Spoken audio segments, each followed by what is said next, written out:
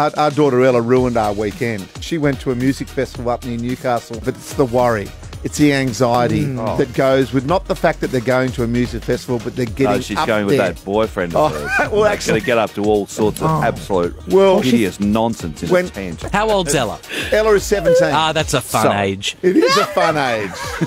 and they had a two man tent. Anyway, that's not the whole point of what I'm talking about. The point I'm talking about is the travel there and back. When they're tired, they're excited, they've got a lot of, Of kids in the car. When they arrived back home yesterday, I got off my sofa, down through the gate, and the drivers, the two cars, I just went to the drivers and said, I will always remember who you are and I will, I will always look after you because my, I've been worried that she's going to die the whole weekend. Who was driving the car? Was it a man or a woman? Or There was a, someone called Ty or something was driving Daymars. I didn't care about him I so thought much. you were never going to forget them.